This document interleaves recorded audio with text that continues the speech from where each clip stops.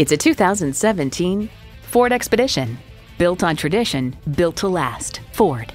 It boasts an impressive list of features like these automatic transmission, heated and ventilated leather bucket seats, integrated navigation system with voice activation, auto dimming rear view mirror, dual zone climate control, doors and push button start proximity key, Bluetooth wireless audio streaming, trailer brake controller, remote engine start, and power heated mirrors. Take it for a test drive today.